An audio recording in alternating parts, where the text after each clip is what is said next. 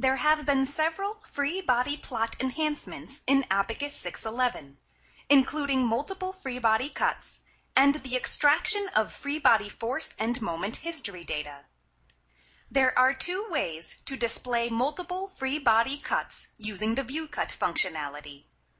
The first method begins with the creation of multiple view cuts, followed by the activation of the multiple view cut option. Then Simply show multiple view cuts with the free body force display activated for each.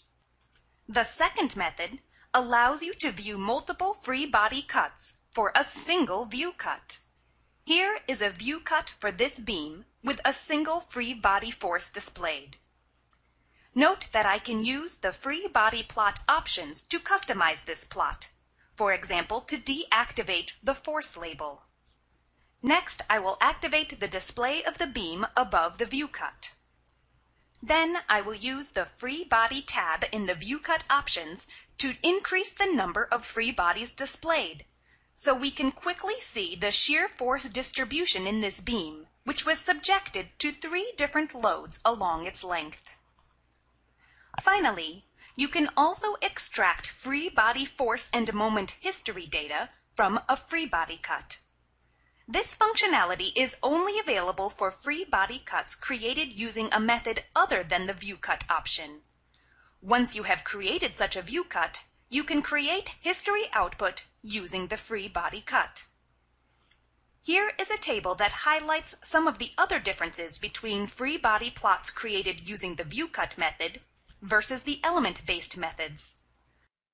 Pause this video if you would like more time to review these details before continuing on to the subsequent free body demonstration, which is an excerpt from the Abaqus 611 Overview webinar demonstration presented by Asif Khan.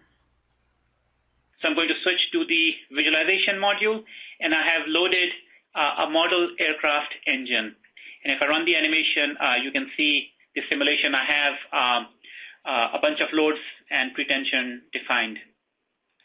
So I can go to the contour plot mode and just display the uh, crankshaft part of the model. So let's select that and uh, replace it in the viewport. Now for complex simulations, you want to look at the force and distribution at uh, various sections.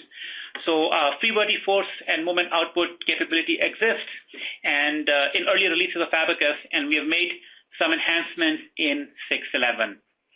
So for example, I can activate a view cut, and activate the uh, free body section force and moment output.